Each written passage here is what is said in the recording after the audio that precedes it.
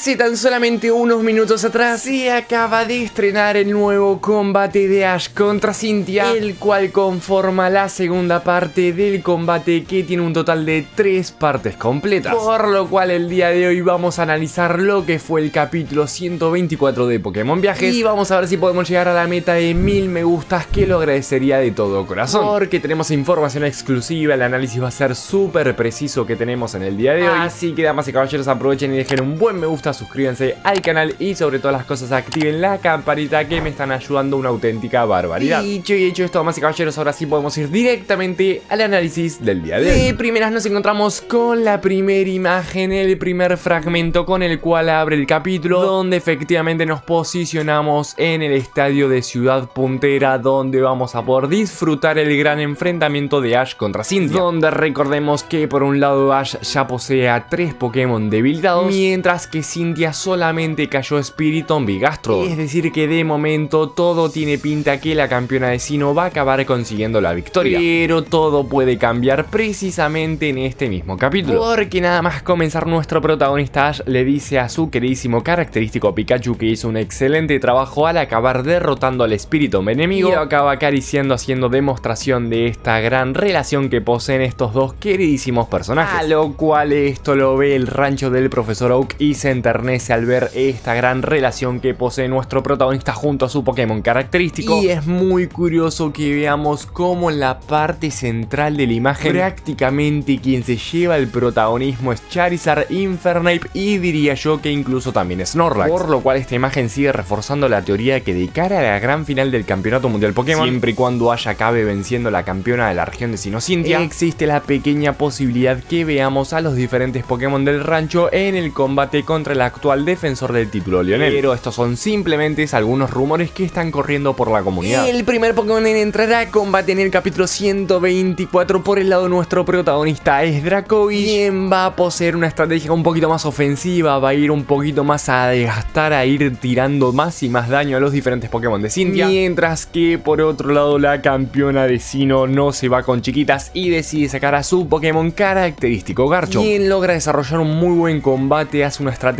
prácticamente perfecta y sinceramente me gustó muchísimo su actuación. A continuación vamos a describir y analizar cuáles son los movimientos y qué es lo que hace el Pokémon de tipo dragón. Y nada más salir Garchomp a combate, las palabras de nuestro queridísimo protagonista es que tiene que tener mucho cuidado y tiene muchísimo respeto ante el Pokémon pseudo legendario, esto que es el Pokémon que acabó mega evolucionando en el combate contra Iris y acabó proporcionando la victoria para la campeona de Sino. A lo cual Cynthia ya sabe que Ash está pensando esto, incluso sonríe ante esta que acaba proporcionando el protagonista y se acaba desarrollando la gran y preciosa estrategia que tiene Cynthia. Puesto que de primeras Dracovish comienza de una manera muy ofensiva al utilizar Colmillo Hielo, quien es un por 4 contra el pseudo legendario, pero Garchomp demuestra su increíble velocidad, acaba evitando este movimiento y ejecuta el ataque de Garra Dragón que acaba impactando muy fuertemente contra el Pokémon de la octava generación. Que repito, acaba recibiendo muchísimo daño, es un golpe súper eficaz, estaba a favor de un Garchomp del Garchomp de Cynthia que posee un ataque físico bestial. El fósil de Galar no acaba cayendo debilitado como tal, pero sí que acaba estando prácticamente tiritando, acaba recibiendo un daño atroz prácticamente. Y posteriormente Cynthia le ordena a su queridísimo Garchomp que utilice el ataque de trampa rocas que pienso yo que va a acabar siendo muy decisivo para el desarrollo del combate. Puesto que es un ataque que prácticamente no se ve en el anime, sino que se ve muchísimo más en el competitivo de los videojuegos de Pokémon. Y es curioso que la campeona de la cuarta generación esté desarrollando este movimiento que acaba siendo muy clave en el desarrollo del combate. Inmediatamente después de que Garchomp hizo una muy buena actuación puesto que esquivó el colmillo y hielo, acabó acertando un garra dragón y posteriormente plantó las rocas, Cynthia le dice Garchomp esto es más que suficiente, necesito que vuelvas a tu Pokémon. Y decide reemplazarlo con el Pokémon de la cuarta generación, el Pokémon de tipo planta veneno Roserade. Quien curiosamente no posee la quemadura, esta imagen es del capítulo anterior puesto que recuerda que lo había quemado con el fuego fatuo de Gengar, pero esta vez Roserade no se encuentra más quemado. Esto quiere decir que el Pokémon de tipo planta posee la habilidad cura natural que lo que hace es que cada vez que vuelve a su Pokéball, cada vez que es reemplazado del campo de batalla, va curando sus problemas de estado, por lo cual si este es paralizado, congelado, quemado, no va a servir prácticamente de nada. Esto lo explica precisamente la campeona de la región de Sino, puesto que claramente esto era parte de su estrategia. A pesar de esto, Dracovish vuelve a seguir su estrategia de ir constantemente a la ofensiva, ir desgastando para poder allanar el el terreno de juego para que Sirfetch y Lucario puedan llegar a hacer una mayor labor. Y Dracovish repite el colmillo de hielo sobre el Pokémon de tipo planta, pero este se le adelanta y conecta un fuertísimo puya nociva sobre el Pokémon de tipo dragón. El movimiento curiosamente acaba envenenando el fósil de la región de Galar, pero a pesar de esto Dracovish con sus últimas fuerzas acaba conectando un fuertísimo colmillo de hielo, quien es un golpe muy súper eficaz contra el Roserade enemigo. Y ambos reciben un daño muy fuertemente, ambos propiciado por el rival que tienen justamente por la parte de delante. Y Dracovish se resiente ante el veneno, recordemos que Dracovish viene de recibir un fuertísimo garra dragón de Garchomp, ahora recibe un puya nociva de Roserade que lo acabó envenenando. Lo cual de momento hasta este instante del combate la labor de Dracovish es muy pero que muy buena y acaba teniendo un rendimiento bastante decente teniendo en cuenta los anteriores combates que estuvimos viendo del Campeonato Mundial Pokémon. Dracovish prácticamente no se acababa luciendo, por lo cual pienso yo que esto vendría a ser la redención del Pokémon de tipo Dragón. Agua. A pesar de esto, Roserade sigue intentando debilitar al Pokémon de tipo Dragón y reitera el movimiento de Shuego Has, quien pega por stab tiene una potencia absolutamente bestial, pero a Dracovish no le importa el ataque, le pega neutro al poseer el tipo dragón. Y utiliza el movimiento de carga dragón justamente, valga la redundancia, y acaba impactando fuertemente sobre el Pokémon de la cuarta generación y genera que Roserade enemigo acabe cayendo, debilitando,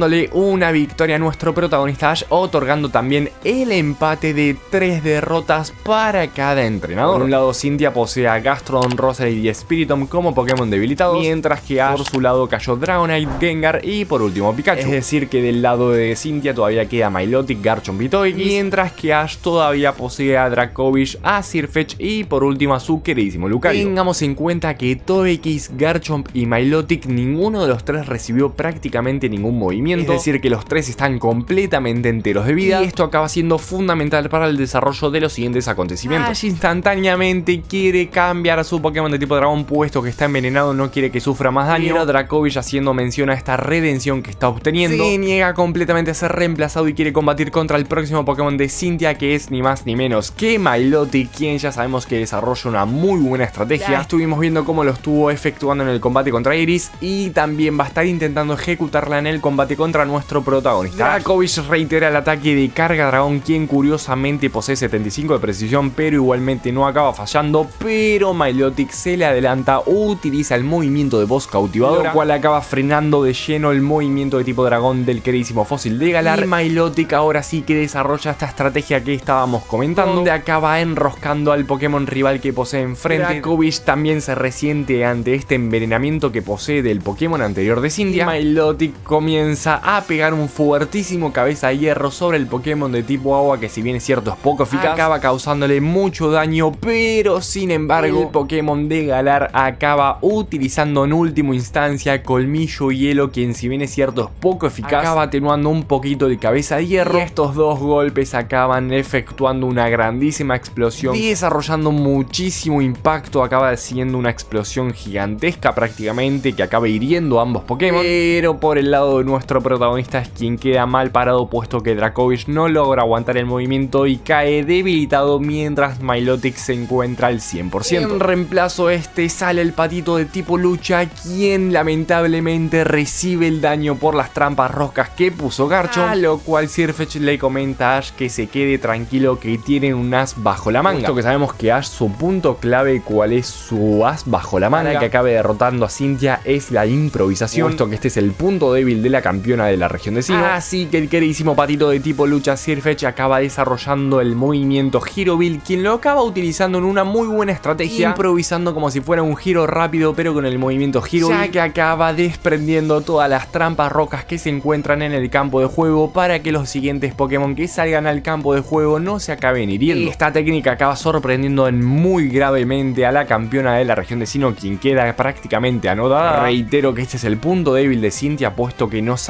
muy bien cómo manejar la improvisación. Y claramente este es el punto fuerte de nuestro protagonista. igualmente, a pesar de esto, Milotic reitera el movimiento Hidrobomba, quien intenta conectarlo contra el Hero Build de nuestro queridísimo Sirfetch. Pero el Pokémon de tipo lucha esquiva el movimiento y ejecuta un fuertísimo corte furia sobre el Pokémon de tipo agua. A pesar de esto, el Pokémon de la tercera generación recibe el movimiento y reitera el cabeza de hierro que si bien es cierto es poco eficaz sobre Sirfetch, el Pokémon de tipo lucha logra defenderse con su escudo escudo del movimiento de tipo acero. Y posteriormente el potenciado corte furia lo vuelve a reiterar acertando un golpe muy fuerte sobre el Pokémon de tipo agua, quien es mandado hacia el otro lado del campo de juego puesto que recibió un movimiento bastante bastante fuerte. Recordemos que corte furia a medida que el movimiento se va repitiendo, este acaba duplicando su potencia, por lo cual Milotic recibe muchísimo daño, recordemos que viene del combate contra Dracovic. Sin embargo, este todavía no cae debilitado puesto que posee unas defensas muy pero que muy buenas. Repite el movimiento de voz cautivadora, quien es un súper eficaz contra Sirfetch. Pero el patito de tipo lucha ahora sí que se cansa del Pokémon de tipo agua. Recibe el voz cautivadora, pero en ese mismo instante reitera el movimiento de asalto estelar. Lo aprendió hace prácticamente nada este movimiento exclusivo. ejecuta un golpe crítico sobre el Pokémon de la tercera generación, quien Milotic acaba cayendo debilitado, otorgándole otra nueva victoria para nuestro protagonista Ash, quien se adelanta prácticamente en las posiciones. ahora sí que sí se desarrolla el clímax más clímax de todo el encuentro del día de hoy. Puesto que una vez que Milotic cae debilitado, Cynthia solamente posee a dos Pokémon Garchomp y Togekiss, mientras que nuestro protagonista todavía posee a Sirfetch y aún le queda su queridísimo Lucario que de momento no salió a combate. Obviamente el Pokémon pseudo legendario es quien sale por parte de la campeona del Argentino. Y acá Sirfetch hace un combatazo auténticamente clave puesto que repite nuevamente el movimiento de corte furia muy pero que muy potenciado. A lo cual parecería ser que Garchomp se intenta defender con roca afilada. Pero esto a Sirfetch no le importa nada. Sirfetch está completamente decidido a causar muchísimos estragos en los Pokémon de Cynthia. Y con el corte furia va evitando las rocas afiladas que le está tirando el queridísimo pseudo legendario de la región de Sino. Hasta conectar un fuertísimo corte furia. Pero a pesar de esto, Garchomp a último momento, en el último instante, acaba defendiéndose al ejecutar el movimiento de Garra Dragón que lo utiliza de una manera defensiva. Por lo que estamos viendo, el Garchomp de Cynthia parecería ser que en este combate está jugando una estrategia no tanto ofensiva, sino que más que nada defensiva. Puesto que utilizó trampa roca, solamente utiliza Garra Dragón de manera defensiva, como lo estamos viendo. Bastante curioso cómo está ejecutando a Garchomp. Puesto que contra Iris se dio la madre contra Haxorus. Ambos dieron un combatazo de Garra Dragón, de Psicocorte, fue una locura. Y en este caso el pseudo legendario no está yendo de una manera tan arriesgada. A pesar de esto, Garchomp posee una potencia absolutamente bestial. Se saca de encima a Sirfetch al utilizar nuevamente el movimiento de Garra Dragón. Y posteriormente no solamente pega por la parte física, sino que también va a pegar por la parte especial al utilizar Cometa Draco, tal como lo vimos en el combate contra la campeona de la región de Teselia. Y Sirfetch nuevamente vuelve a ejecutar el movimiento de asalto estelar, quien logra cubrirse del movimiento especial de tipo dragón. Y mientras el Cometa Draco va lloviendo, va cayendo en el campo de juego, Sirfetch logra abrirse paso, logra ir esquivando estos movimientos hasta acertar un muy buen golpe sobre el Pokémon pseudo legendario. Acá estamos viendo que Garchomp prácticamente en el último instante no pudo moverse, quedó completamente inmovilizado. Sirfetch acaba causándole muchísimo daño al Pokémon de tipo Tierra Dragón, generando una explosión que es auténticamente épica. Este momento es completamente clave para el desarrollo de todo el encuentro. Y ambos quedan completamente de espaldas enfrentados. Por un lado tenemos a Sirfetch de nuestro protagonista y por el otro al pseudo legendario característico de la campeona Cynthia. ¿Quién de los dos va a caer debilitado? Este instante en concreto es una tensión preciosamente divina, pero finalmente el patito de tipo lucha con sus fuerzas acaba cayendo debilitado por el lado de nuestro protagonista, desarrollando ahora sí que sí el clímax completo del combate. Algo que hay que destacar es que Sirfetch, como es tan orgulloso el patito de tipo lucha, no cae de rodillas, no cae debilitado como la mayoría de Pokémon que acaban cayendo desmayados al campo de juego, sino que este se queda en el fragmento que lo estamos viendo, puesto que quedó completamente inmovilizado, pero quedó de pie en el combate contra Garchomp, a lo cual nuestro protagonista Ash le acaba agradeciendo al patito de tipo lucha, puesto que desarrolló un combatazo contra el Pokémon característico de Cynthia, y Cynthia nuevamente reitera el reemplazo de Garchomp y decide sacar a su último Pokémon. Destaquemos que Garchomp no cayó debilitado, simplemente fue reemplazado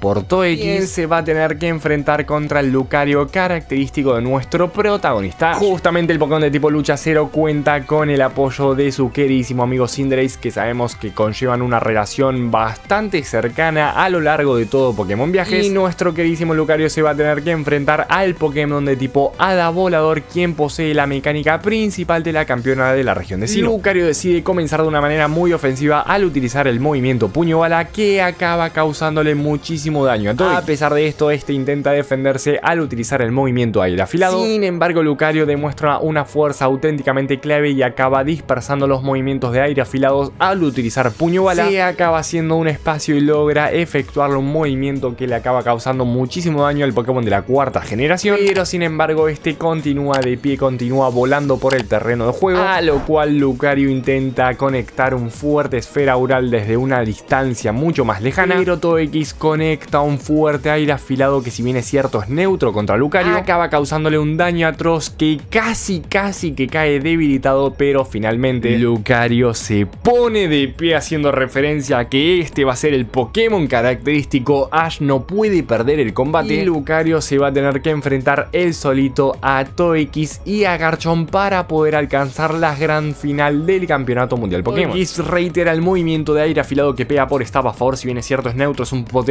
movimiento. Y Lucario nuevamente con puño bala acaba dispersando este ataque. Y Cintia ahora sí que sí, cansada de Lucario, decide tirar de su mecánica principal. Vuelve Toex a su Pokéball. Sorpresa para absolutamente todo el mundo. Cintia posee la mecánica del Dynamax y acaba trayendo al terreno de juego a ni más ni menos que a Togekiss Dynamax en el combate contra nuestro queridísimo Lucario. A lo cual el Pokémon de tipo lucha acero se planta en el terreno de juego, está dispuesto a dar lo que sea para acabar consiguiendo la victoria y así el pase hacia la gran final. A lo cual Ash dice que todavía le queda un as bajo la manga y señala claramente la pulsera con la piedra activadora de Mega Lucario. Pero lamentablemente el episodio ya mencionado finaliza justamente por la parte de acá. Esto que en el episodio 125 vamos a ver el combate de Lucario contra Toex y de Mega Lucario contra el Garchomp característico de Cintia. Que damas y caballeros activen la campanita porque no se pueden perder todas las nuevas noticias que van a estar saliendo con el pasar de las horas. Damas y caballeros, señoras y señores, por el día de hoy me voy a pasar a despedir, perdón por el video que me quedó un poquitín más largo, es que este combate ameritaba un análisis en completa profundidad, así que aprovechen y dejen un buen me gusta que siempre se agradece una auténtica barbaridad. El día de hoy me voy a pasar a despedir, les mando un fuerte beso, un fuerte abrazo, cuídense y nos vemos próximamente con un nuevo video. Adiós.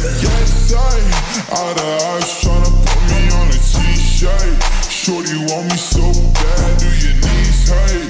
Yeah, I'm counting paper crop, it might be mine, it might be mine, yeah.